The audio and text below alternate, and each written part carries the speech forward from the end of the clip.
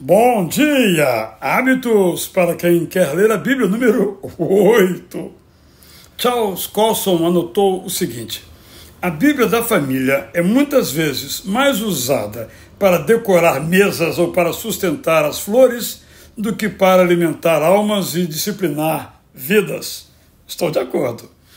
Tendo desejado, decidido e organizado sua agenda para ler diariamente a Bíblia, faça-o com prazer Considere sua leitura como uma resposta amorosa à amorosa declaração que o Deus eterno nela lhe faz. Se você ler a Bíblia com prazer, você sempre lerá, porque você é movido pelo prazer. Se você ler a Bíblia apenas como dever, encontrará uma forma de adiar ou boicotar a tarefa.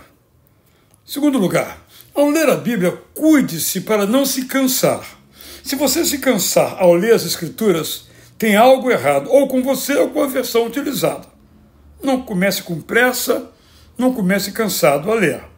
Veja se a sua versão aumenta o seu prazer. Se não, procure uma agradável. Se sim, continue com a que está. Terceiro, junto com o hábito de ler, habitue-se a anotar, sublinhar, e compartilhar o conteúdo da Bíblia. Anotar, sublinhar e compartilhar.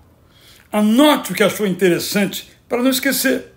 Sublinhe o que o inspirou. Se preferir, copie o que leu. Compartilhe o que descobriu. Contagie outros com o que marcou a sua vida durante a leitura.